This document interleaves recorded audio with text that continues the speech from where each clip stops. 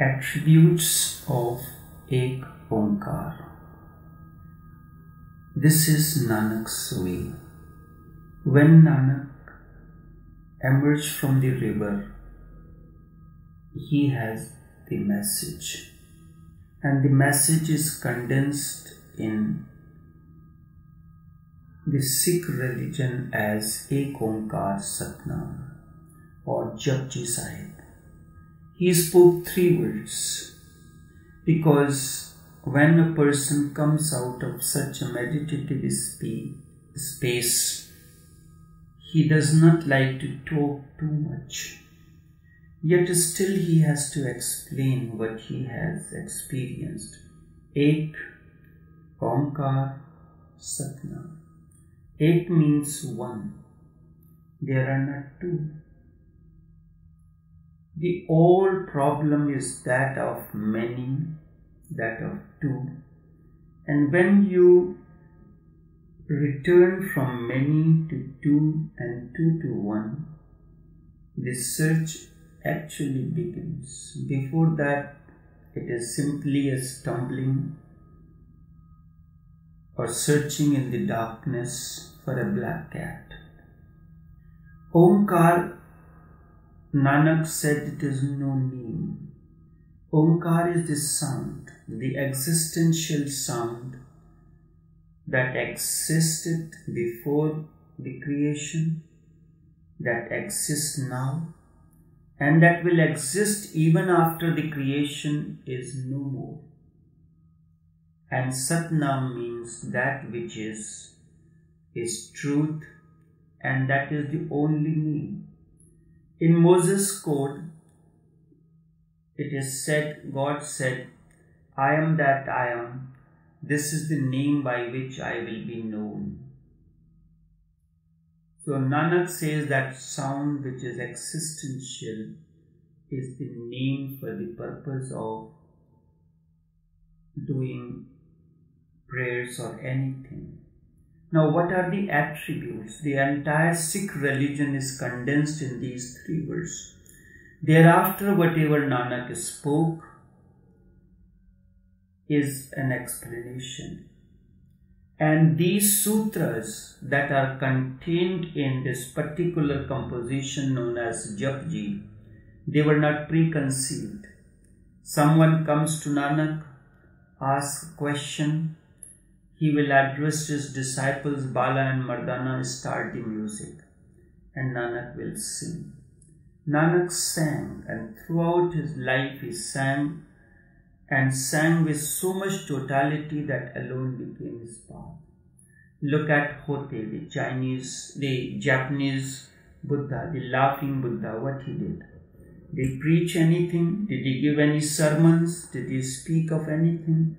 No, nothing like that. He simply came out, stood up a place, raised his hands, started laughing. People gathered, and laughter is contagious. And everyone began to laugh, and when and with the laughter the energy changes, and as the energy changed, he moved away from there. Now let me take these words one by one and give the explanation of these words. Nanak says that which is one and existential is the only doer. Only doer, and he calls it by the name Karta Purukh. Karta means the doer, Purukh means the male entity. Because somewhere something has to be said either it is a male energy or the female energy. According to hindus the female deity is the embodiment of energy. But the work is to be done the two things energy and the one who is doing the work the guiding force behind all the work is the energy field. But man considers himself to be the doer. This is ignorance. That which is whose very nature is existential oneness, is the sole doer. The moment ego vanishes, you recognize that God alone is the doer. All our problem, the husband says that you are doing wrong, the wife says you are doing wrong. We are not understanding. But when it comes, we never complain that uh, stove is doing wrong. We never cons- say that air conditioner is not doing right. We understand there is a malfunction. There are two aspects. One, its brain is made in such a way that it can manifest the quality of the electric current, one quality of the electric current. Electric current is the energy field, but it does not work. It simply activates the brain of the particular instrument, electrical instrument, and as it activates, it begins to work and the function is different. It is the electrical instrument is simply an instrument that manifests, that activates, that functions on the quality of the electric current. So there is no ego. The electric current does not say, I am the doer, remains silent and does everything that is needed for you, cooks your food, warms it, makes your tea, or whatsoever you want to do on it. And the moment ego vanishes, one realizes and recognizes that God is the only doer. This is an experience, an understanding that comes when individual ego vanishes. As long as ego remains, you will consider yourself to be the doer and will go on blaming the others in one way or the other. I give you an example. Day before yesterday, a person, customer came half past nine. When he finished, he is gone half past nine in the night. I had recently installed a digital lock on the door. It is giving problem in programming. So it is not programming the numbers. Normally the key bunches are different, the car key is different, the key for the other side, showroom side is different. So what I do, all the keys that are necessary, I put in each bunch. So whichever key bunch I take, that will be able to take me inside the main place. And when I was going to lock it, the latch at the back I used and locked. And I did not take the key for that. That key was not in that bunch. When I came in half past nine, I re- realized that I had locked the latch and the door not opening, the key is not there. What should I do at that time? Normally, if there was someone else we will feel sorry that I made a mistake or blame the other that you are always doing things wrong, which is very normal and we keep on doing on a day to day basis, blaming the others for anything that happens wrong. I looked into, I said, if that be the case, I am not going to wake up anyone in the night I will go and in this showroom and spread a mat and sleep there. But then I thought, let me see if by chance the code that I entered is functioning. I entered the code, pressed the unlock button, a sound boom and the lock opened. I came inside and then I tried again once again the lock opened, after that it stopped working. Now what would I call it? What would you call this? A coincidence? It's a matter of trust. I was not supposed to be left outside, outside the house. And once only the lock the program that was code that was programmed functioned, door opened, I came inside. Because I recognize that there is only one doer that does everything.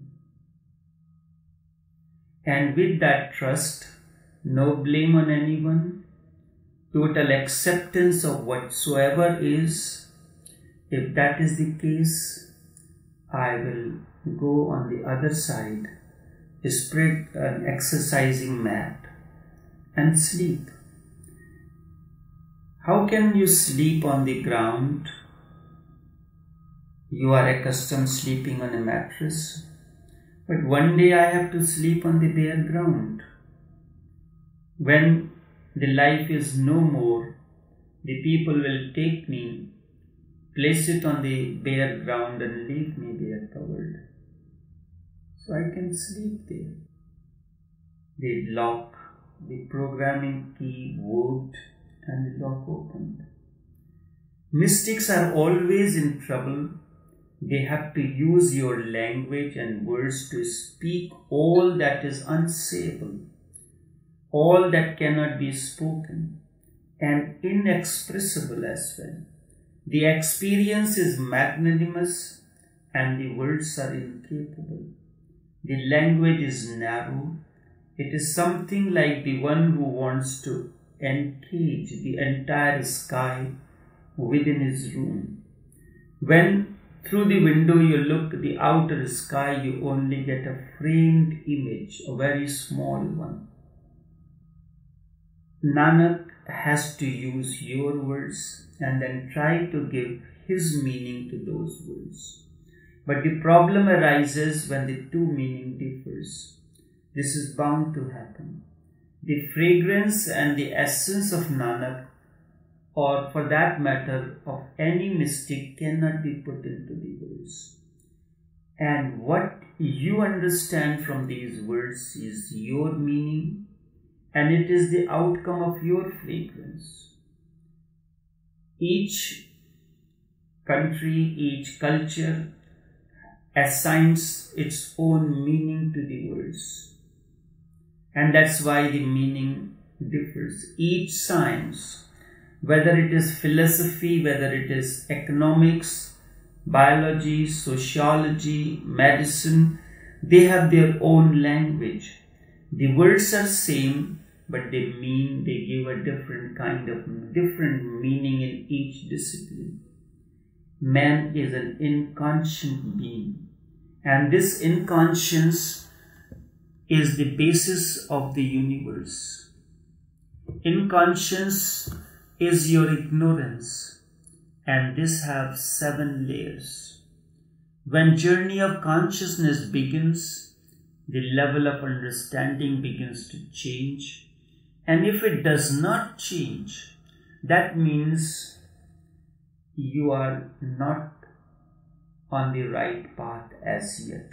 Or you are not allowing the words or the fragrance or the energy field of the Master to filter into you. As the energy field begins to filter, whether it is through words, whether it is through silence or any other means, then your understanding changes and you get a new perspective of truth, a new meaning in life. From the quagmire of inconscience or ignorance, you rise to the level of consciousness where only enlightened ones are. And when and then you can be the pulse of the existence. That Nanak summarizes it as a Ekonkar and out of your being, your life, your words will waft the fragrance of awakening. Whether it is awakening is in the form of Nanak or Buddha, and that whatever will waft or come out of you is the attributes of Ekonkar.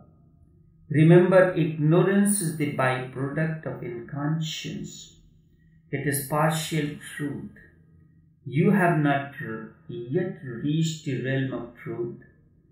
Ignorance is truth in making. Nothing is wrong. Ignorance is truth in making. Ignorance differs from falsehood. Falsehood is deliberate perversion of truth, and ignorance is an incomplete grasp of truth. Know this difference always. Falsehood is deliberate perversion of truth, and ignorance is incomplete grasp of truth. Ignorance is not by purpose, and ignorance is not individual alone. Man thinks that if he does not know his scriptures, or if he does not have any intellectual knowledge, he is ignorant. It is not so. Ignorance is a cosmic phenomenon, and each one of us is part of this cosmic ignorance. Each one of us is a cos- part of the cosmic ignorance. I repeat it again falsehood is deliberate perversion of truth, and ignorance is an incomplete grasp of truth. How could this ignorance arise?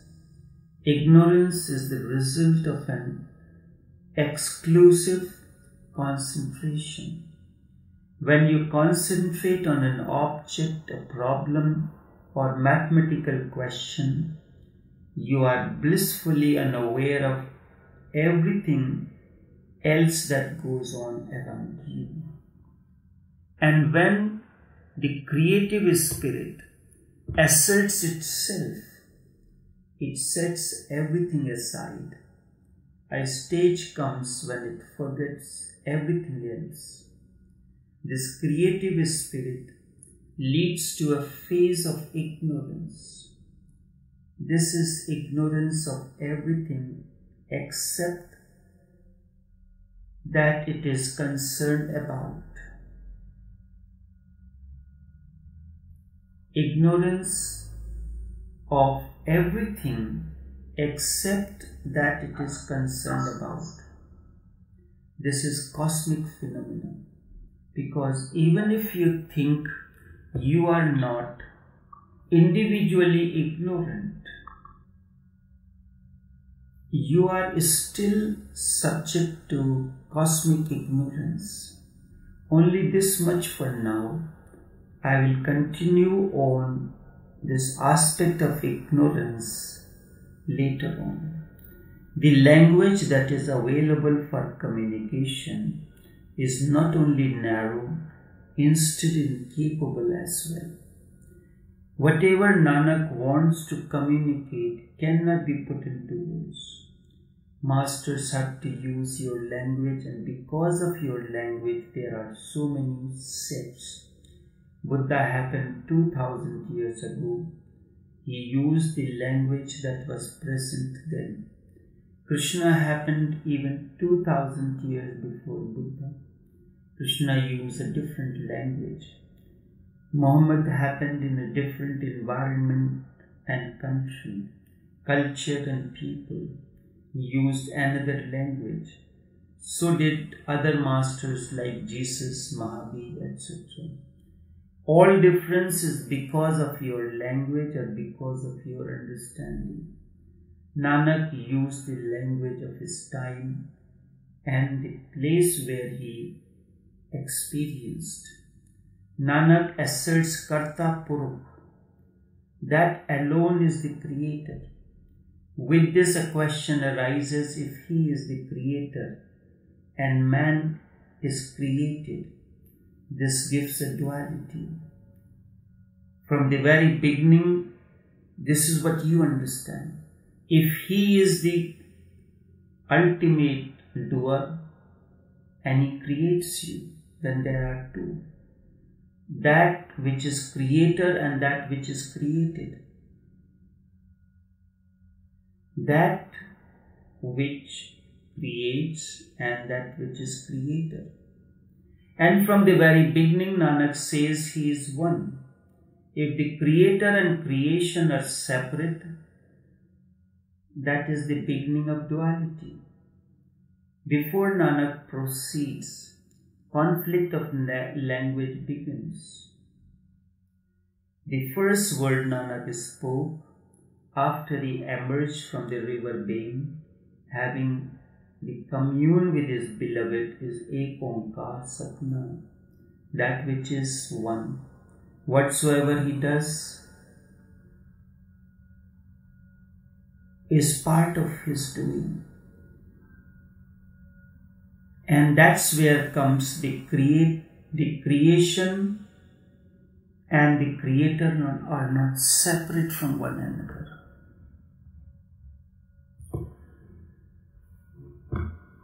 Truly, indeed, the entire Sikh religion is condensed in these three words, and whatsoever he spoke afterwards is an explanation for you. Therefore, this message is complete. That which is is Kartapuruk, the only creator. Remember one thing significant Whatever the Creator has created is not separate from the creation. Creator is hidden in the creation. When you create something, it reflects your impressions, your ideas, your culture, everything.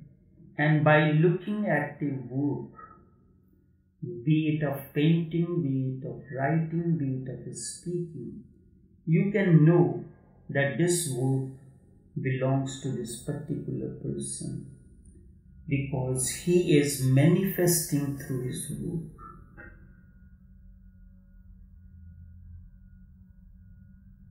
So the creator and the all that is created is not separate from one another. The creator is hidden or embedded in the creation. The Creator is lost or absorbed in His creation. Nanak did not create any distinction between worldly and otherworldly or spiritual. It is so. When you have to separate from creation, and when the search is for the Creator, you have to be away from the Creator. This is what has been ex- uh, conditioned. Also, you have to move from the world of activity. This is what was conceived, this is what was practiced before.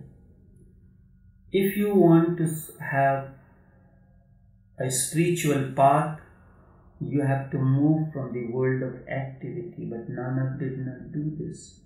Until the last moment, Nanak did not choose anything. He used to go on the spiritual journeys, and when he will return, he would go to his village because he was a farmer. He will pick up his plough and start farming again. This is how an aesthetic Nanak created a way for the aspirants.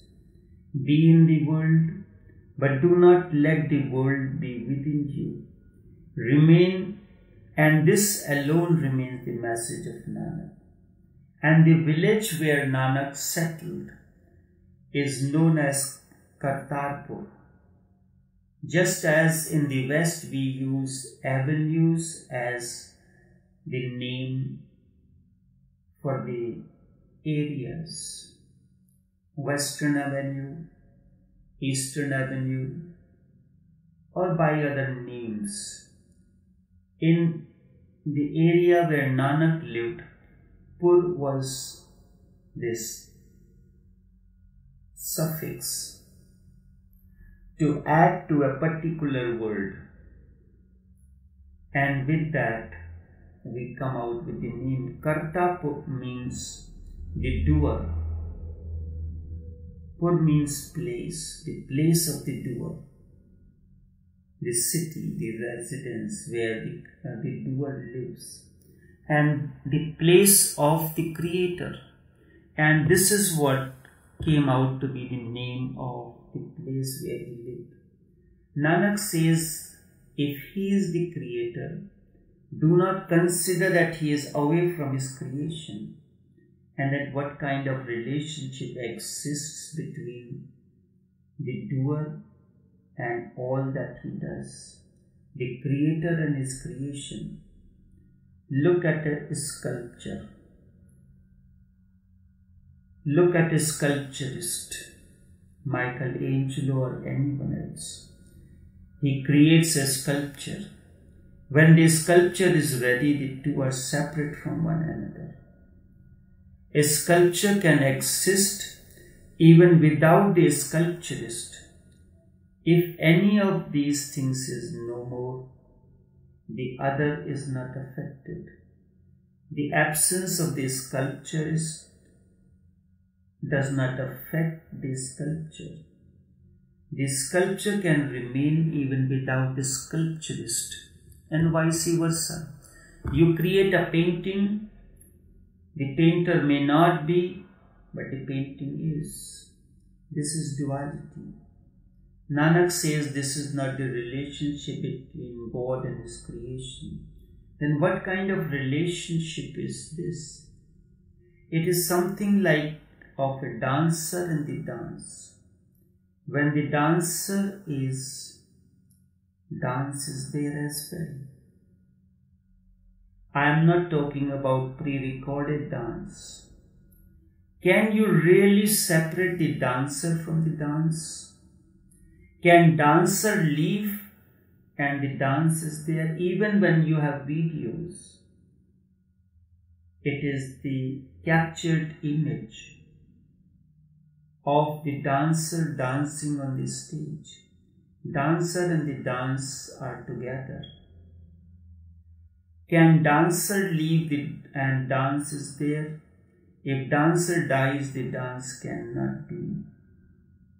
The dance stops. So to the dancer. Both are together, embedded into one another. This is the reason that Hindus have always looked at God as Natraj. Nat means and Raj means the master of dance movements. In the symbol of Natraj, it is a symbol where a particular deity is in the form of a dance.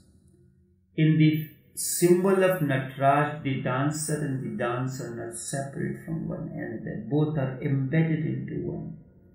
A poet writes a poem. The poet and the poem are separate from one another. The sculpture and the sculpturist are separate from one another. Mother gives birth to a child and immediately the two are separate from one another. However, such is not the case between the Creator and His creation. If I have to use your language, the Creator and the creation is one. In fact, Creator is creation, or more precisely, I can say, Creator is the process of creation. Creator is the process of creation. Nanak says you do not have to go anywhere. Wherever you are, God is. God is hidden in His creation. When a flower blossoms, when a bird chirps, a child cries, the giggle of a child, and everything it is the divinity manifests. And that is where the Hindu scripture says, and all the major religions says, God is omnipresent, omnipotent, and omniscient. What does it mean? Is it a simply a word, simply a statement to be chanted, to be remembered only when you are in religious sects, or it has to become part of your life? whenever, wherever you are, God is, God is hidden in His creation. Nanak gave birth to a new religion, a religion in which world and the life beyond are together. Only such a person who understands this, who is not that the world and the, the life beyond are not separate from one another, they are together. With this understanding, you become a Sikh. Sikh comes from a Sanskrit root, means the learner, one who is worldly and sannyasin renunciate together simultaneously. Be in the world, but do not let the world be within you. This is not a mere statement. You come, be in the world, and not let the world be within you. This should reflect through your understanding, through your life, through everything that you do. In your presence, it has to be seen through your every act, through your every thought, through your it has to be embedded in your understanding. By growing hair or putting on a turban, one does not become a Sikh. By putting on a Sufi garb, one does not become a Sufi. By putting on a saffron clothes, one does not become a, a renunciate. All these things require a different kind of understanding, a different kind of manifestation. One can easily renounce the world and retire into a forest, a cave, a mountain, or somewhere. Sikh means one who is worldly and spiritual simultaneously. Look at my life. I am totally into the world because my livelihood comes. How does a livelihood come in? Either through your work, you are working in an office, you are working as an employee or employer, or you are self employed. I am self employed. Carry on the activities of my business and when I go on my spiritual retreat or trips, it's a totally a different kind of environment. When I return, the, the work begins once again. And that happens on a day to day basis. A certain amount of time is spent in the world, doing the worldly activities, maintaining a or working for my livelihood. And once that is done, I return home and start back into my other aspect of life. They are not separate, they are embedded into one another. And when I am interacting with the people during my business hours, that understanding that I am the spiritual being, I am on that path, that remains at the back of my mind. The use of language, the use of understanding in dealing with ordinary day to day things, ordinary persons, ordinary events. That understanding remains that I am on the spiritual path.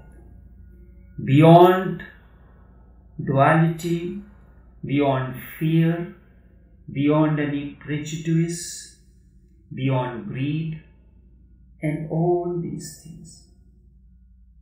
One can easily renounce the world and retire into the forest or mountain or cave, but that does not make you spiritual.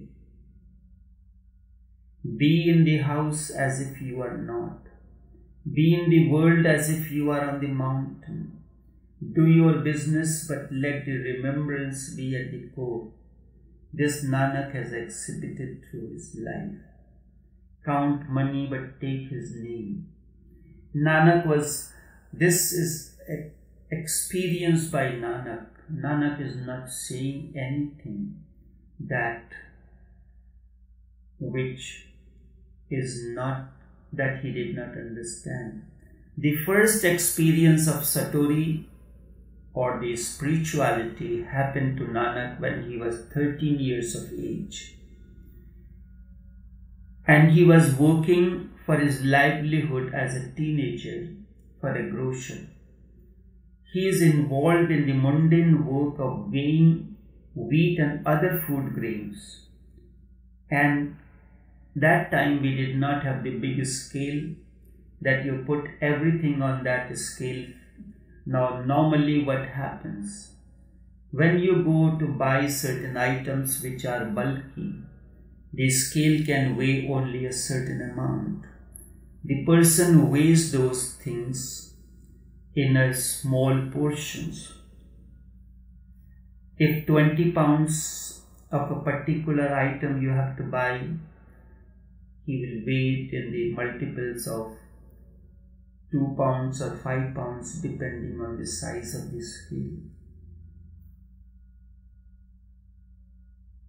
So Nanak job was to weigh and there the scale was resembling that of the symbol of justice.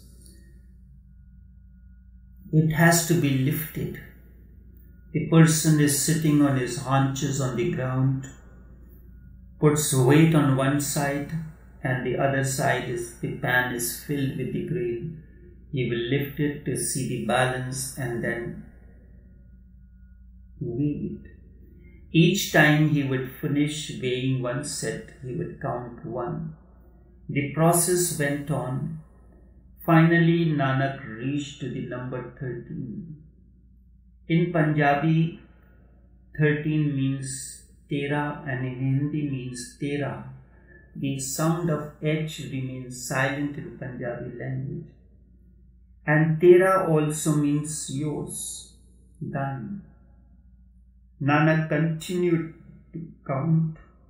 However, the number did not move beyond the number 13 because this is the final.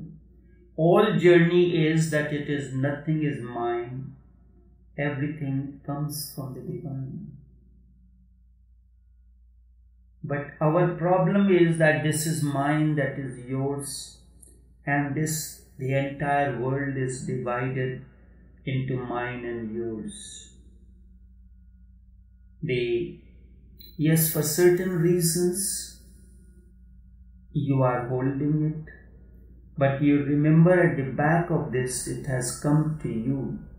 God has created a situation, the existence has created a situation for you to acquire that particular item, be it a pen, be it a garment, be it a uh, vehicle, be anything, if he did not wish, did not provide the resources, you could not acquire this.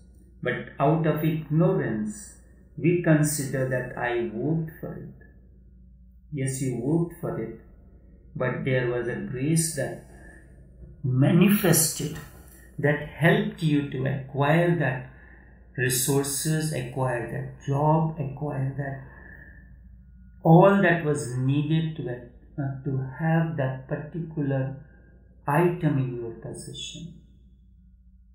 So when Nanak reached to that level that everything belongs to divine, then why to go further? The ultimate, the final destination has come. Mother, the all these those who have insights, they say everything belongs to the divine. All money, resources, everything belongs to Him. And if He does not will you, you cannot have it.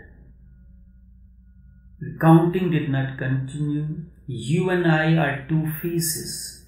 Deep down, there is a constant remembrance Nanak has arrived home Everyone thought Nanak to be mad. They wanted to know what is what are you doing?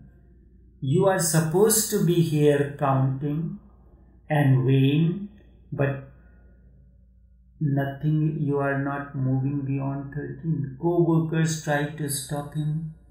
Even the person who was buying the particular item, he reminded him, What are you doing? You're supposed to count and finish my job so I can go. Nanak was intoxicated with love for his beloved. He listened to no one. The inner journey begins with I or ego and ends at you. Nanak arrived home. This is the first experience that Nanak had at the age of 13. Nanak is not against the world or its affairs. He is in love for the world. Nanak says creator and the creation are not separate. Creator is hidden in his creation. There alone you will discover the creator. You have you want to go somewhere else to experience the creator? No. If you want to experience the creator, you have to go in his creation. He is not against anything. When he was asked to marry, he immediately agreed easily. Everyone, his father thought that Nanak will make a fuss over it. But to Nanak, everything is, accept, is acceptable. Acceptable. Everyone would have definitely thought that Nanak will resent, but he did not. Nanak got married, however, there was no change in his ways and means. Nanak's life is full of such anecdotes. Sometimes we think one who begins the inward journey wants to renounce or leave his wife or family. However, such was not the case with Nanak. There seemed to be no way to deviate Nanak from his quest. Whatsoever he is doing is acceptable. He know that is the way to reach to the divine. Each road leads to the destination if you are standing on the mountain.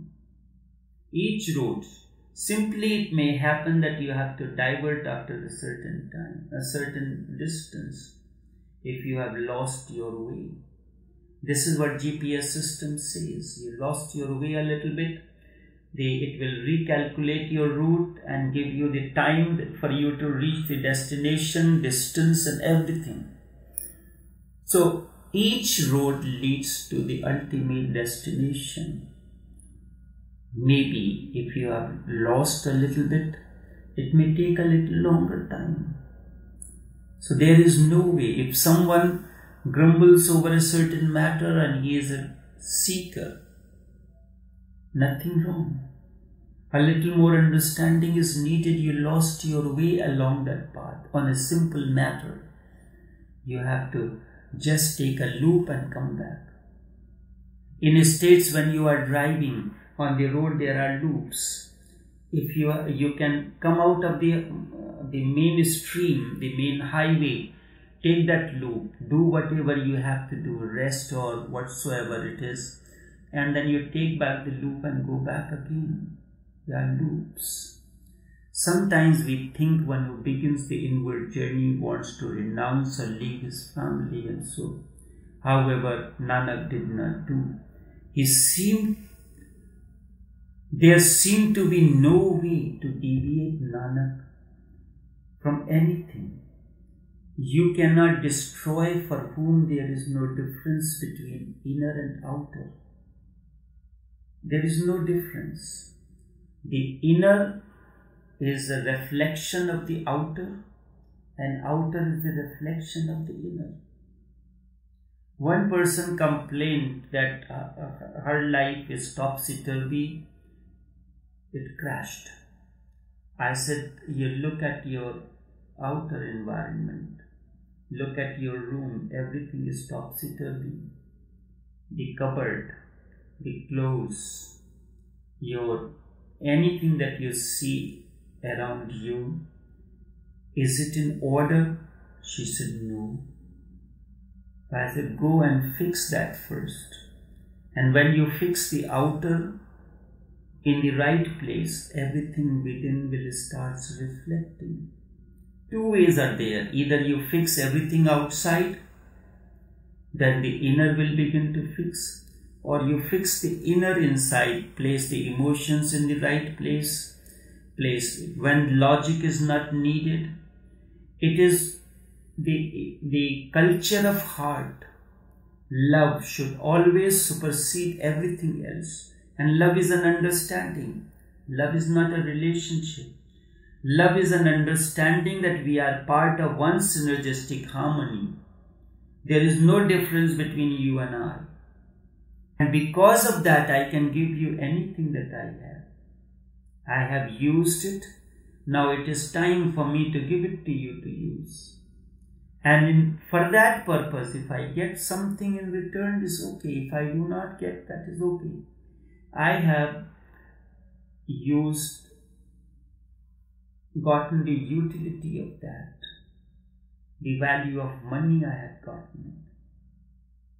You cannot remove, you cannot create a misery for such a person who has understanding. And one who does not have understanding, he remains miserable and complaining for, about every little thing that this person did not do this I gave him this and he did not do this. I am always ready to do these things for him, but he always, he never even says thank you to it. Why should I? Why should I wait for getting a thank from someone? I am thankful that you have listened to it and you have accepted my gift. I am thankful to you that you have come to my place and have given me an opportunity to serve you. You don't need to thank me for the tea. You have given me an opportunity to see how good I can make the tea. When I am making my tea for you, is my emotions involved into it? Is my problems involved into it? And that will reflect through the taste of the item that I finish and serve with you, serve you. So indeed you have given me an opportunity to see my own inner self. You cannot destroy for whom there is no difference between inner and outer. Indeed, an aspirant is one who cannot be deviated from his path by any means. At least his father Kalu Mehta could not understand this. Thus continued the message of Nanak and the methodology of an intoxicated Nanak. Long, long after Nanak attained, his father Kalu Mehta realized and he asked Nanak, Now that you have attained, would you not help me? This sentiment has been beautifully expressed in one of the Shabads or the Punjabi songs, how his father became his disciple. The second attribute, first is the Kartapuro, Nirbhav, fearless. Fearless, each word that adorns the Mool Mantra or included in it is soaked into the fragrance of Nanak. And if we can understand the meaning, understand these words, we have understood Nanak. Each word reflects the consciousness of totality that Nanak is now.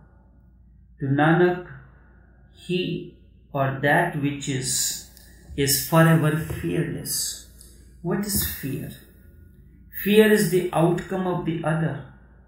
The other is hell, is an important Western statement of Sartre. This is your experience as well. Many times you want to be alone and then company of a friend is a solace and that of the enemy is misery. What is the fear? Fear is of losing. Fear is that someone may break the security cordon. Fear of death, fear of sickness, all plague your life. These are present. These, all these represent the other. How can you escape the other? You may be sitting on the mountain or a tree or under a tree. A bird may come and do his job on you. Rain may come. Sun may shine and bother you. We are always complaining. When sun is there, we complain. When rain is there, we complain. We are sitting in meditation, dog barking, birds making noise, everything is a problem. Where would you run to? The other is all around. Your vision is of the other.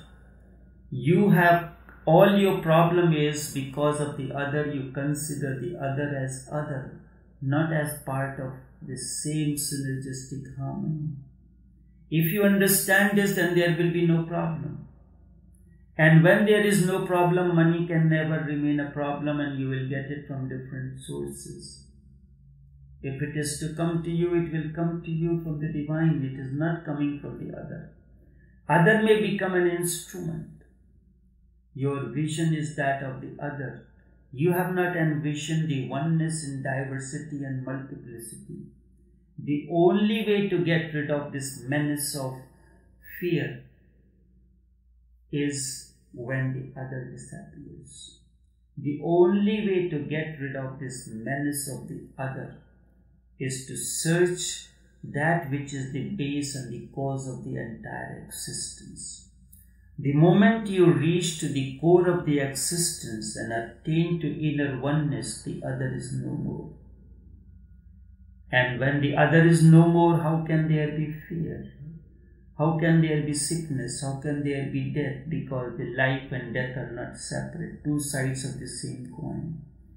Nothing then remains as disharmony, and Nanak calls this as Ekonkar Satnam.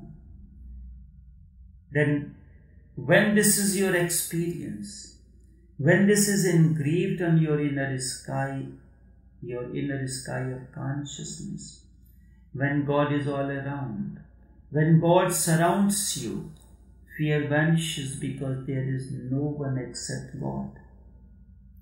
This brings fearlessness. Also, with fear, also disappears jealousy and envy. You are jealous of the other. The other is the enemy. This is the state of nirbhav, means fearless. Nirvair means without any prejudice.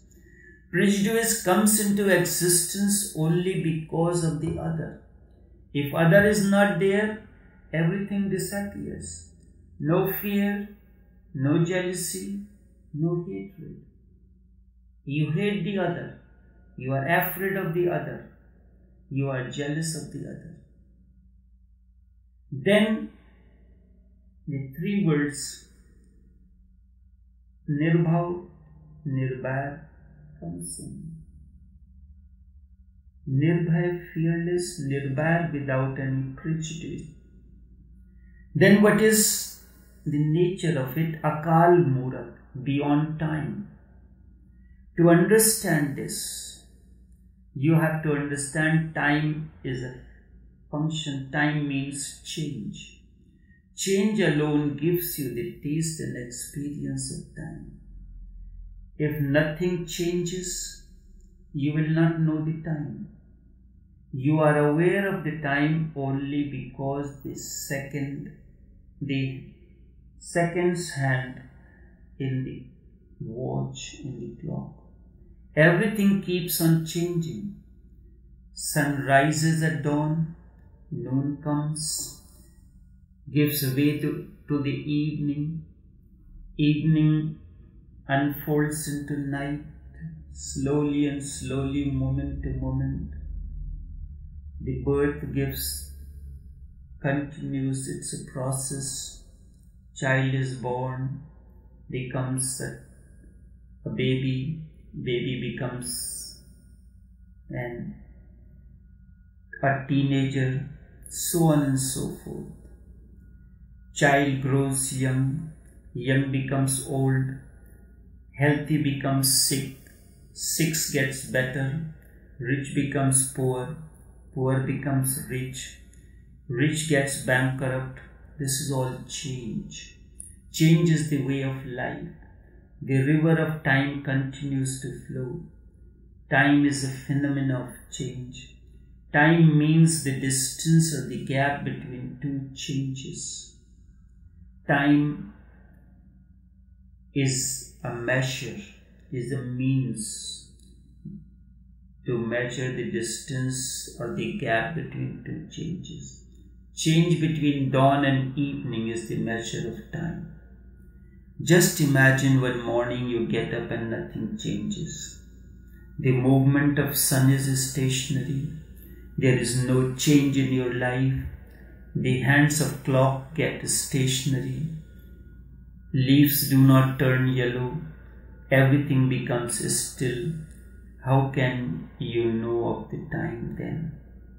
You are aware of time because you are surrounded by change. For God, there is no change. He is eternal, or that which Hindus call as Sanatan, that which was in the beginning, that is now, and that will always be. This has been the understanding of those who have known. Ghalib says, जब मैं नहीं था when I was not, God was. When nothing was, God was.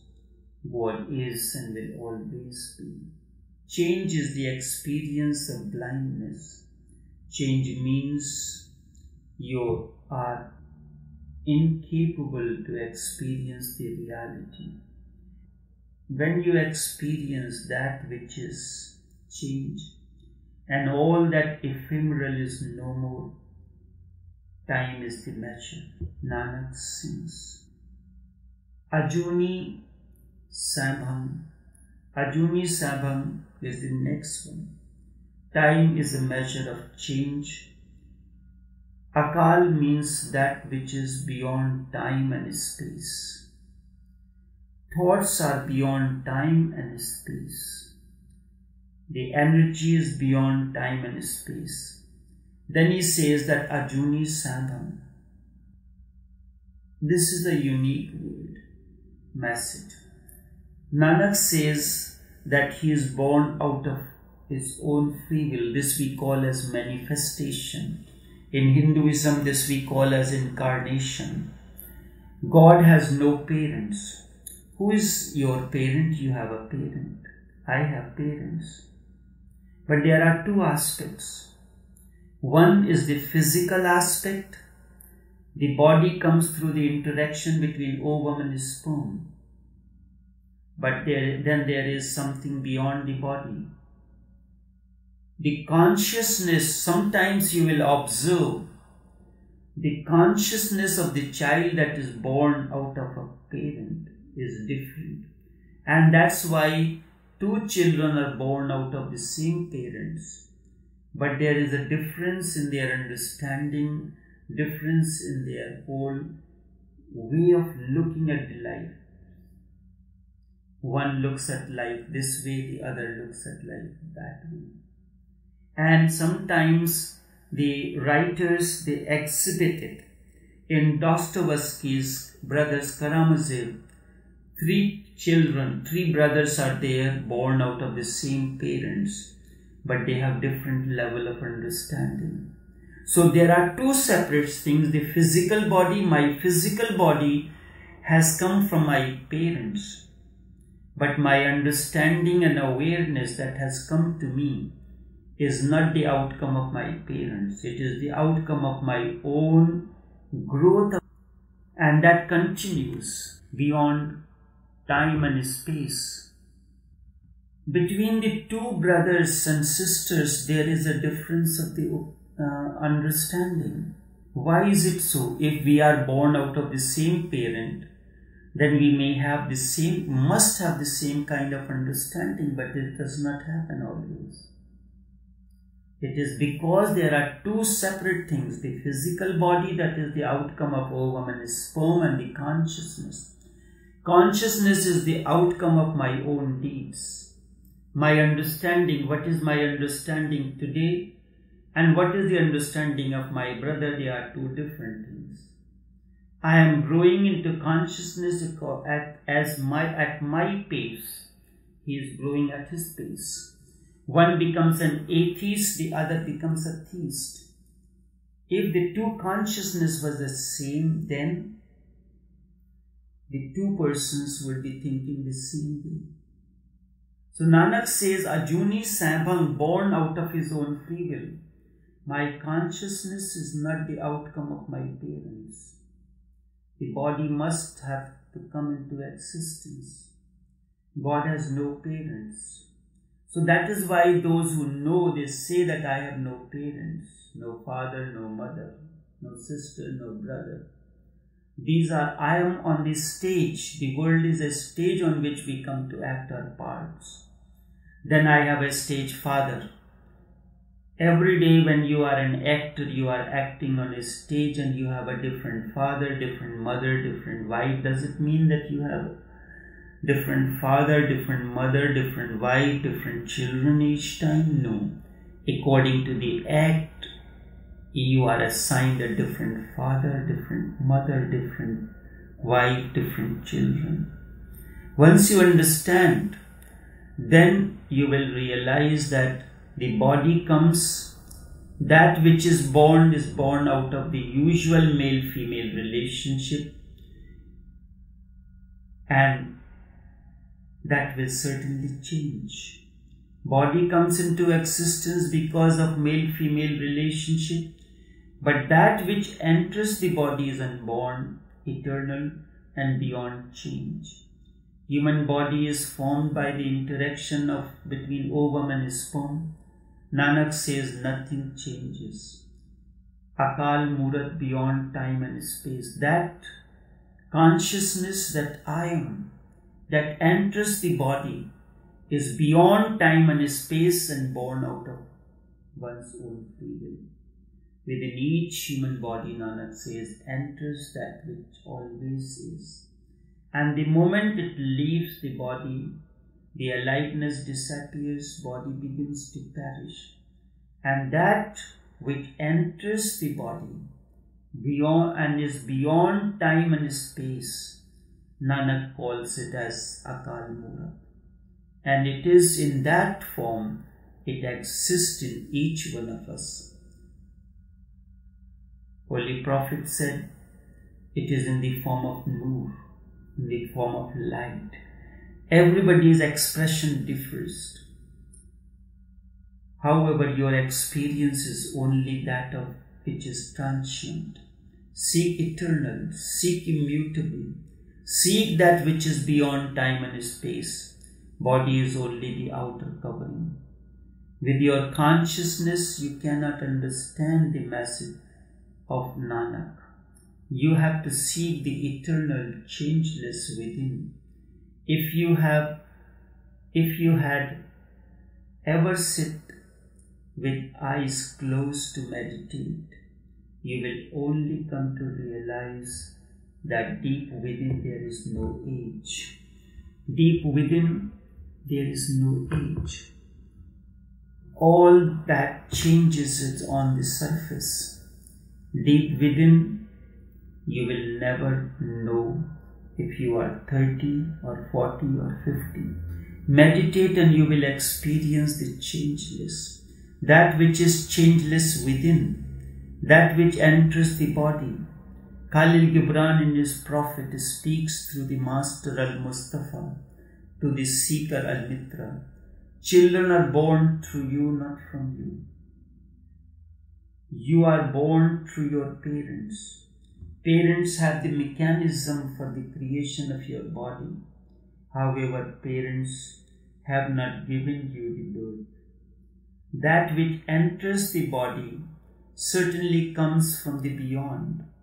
The day you will experience the changeless within you, you have understood Nanak, and you will come to know that that God is Ajuni Sabhang born out of his own free will. And in a micro way, micro form, you are an embodiment of that. God is certainly beyond that which is, that there is nothing. He is causeless, self sufficient, eternal, and no name can be given to that magnanimity. That day you alone will be free from anxiety and misery. The day you understand this. What is human agony? Nothing in this world exists without a cause, without a base. This base can be snatched and taken away from you. This is the cause of your worry. Today you are rich because you have wealth. Your wealth is the basis of your richness. wealth can be taken away. Your happiness is because of someone. This is this can change one day. One day someone takes away your wife or your husband. The basis of your happiness is no more. A spiritual person is happy because of his own existence. He is rich because of his own. What can you take away from a Nanak or Buddha? Neither can you give anything nor you can take away anything from him. Whatever Nanak is, is because of that eternal, that consciousness that he has experienced within.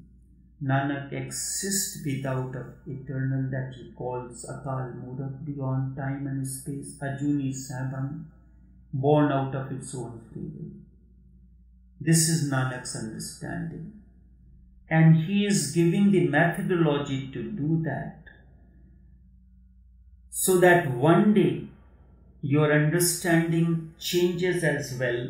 Such is the explanation not of a philosopher this is for aspirants, one who is on the path of inward journey, one who is ready to bring about a change within. These are the attributes of God so that you too can experience the truth. And this is true. This is how. And then with this experience become an embodiment of truth. What is the methodology Nanak explains? you can attain to this by the grace of the Master. One can attain, Nanak says, all these qualities, these attributes, these experiences with the grace of the Master. Does this mean one cannot attain on one's own or by his own efforts? This you have to understand. Nanak again and again emphasizes the need for the Master. Nanak says no one can attain without the grace of the Master. If God is, why can't I attain on my own? Why is there need for a Master?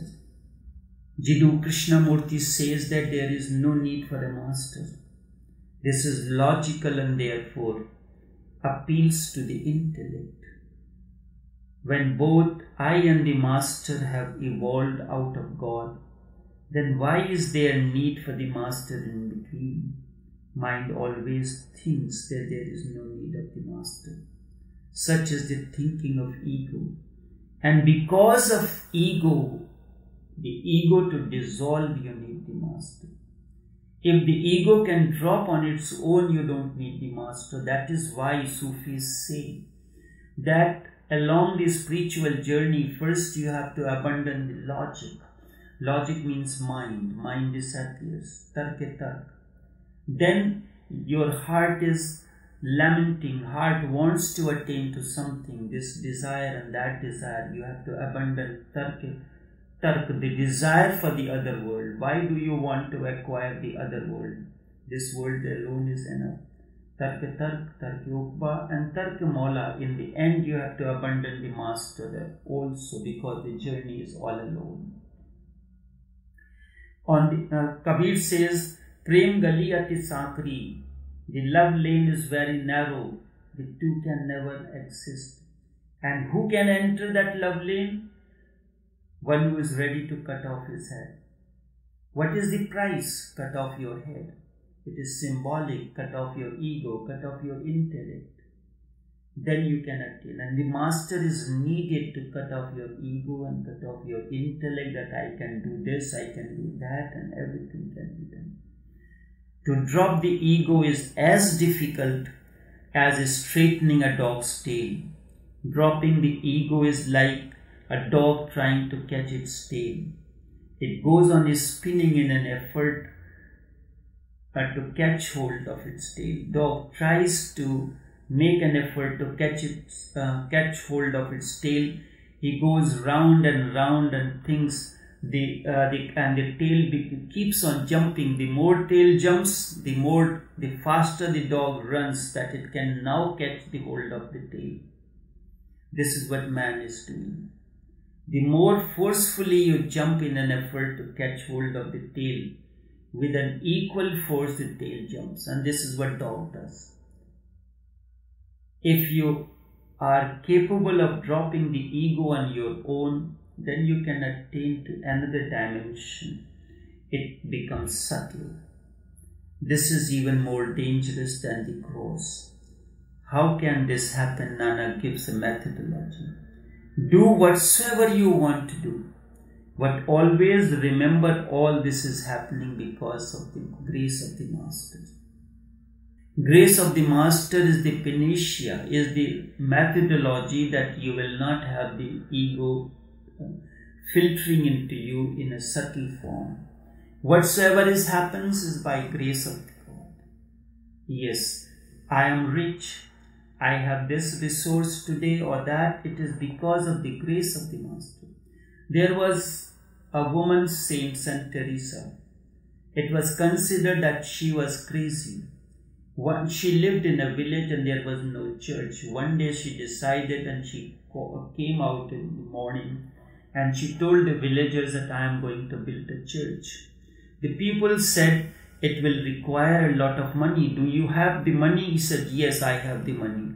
She took out a coin from her pocket and showed, Yes, I have a coin. So people said, Are you crazy or what? With one coin, how can you build a church? He said, I have a coin and plus I have something else. What's that? I have God with me. I have God and in this coin. And this is coin. Ultimately, everything he has to do, I am simply an instrument. So my coin is representative of my capabilities. A simple um, a quarter, a dime, a cent. You are a cent, maybe a dime, maybe a quarter. There is no coin beyond that quarter. You are simply a quarter, and God is the dollar the $100 bill. It is He who has to finish everything. You are simply an instrument, but your 25 cents is also important. Your 25 cents is your effort, your one foot, the rest He will do. But that 25 cents, the coin, is very important, and this is the message of Saint Teresa that I have made my effort I put my 25 cents, I put my dime, I put my cent into the process. And always remember ultimately he has to finish that. The grace of the Master is there. He gives me consciousness. And because of that consciousness, I continue my journey. Then how can there be ego? You don't have a tail you do not need to catch hold of it in early uh, the morning when sun is basking in its glory. All of a sudden, dog thinks that let me catch hold of my tail. Even if you are capable of dropping ego on your own, ego attains into another dimension and becomes subtle. Nanak gives a methodology.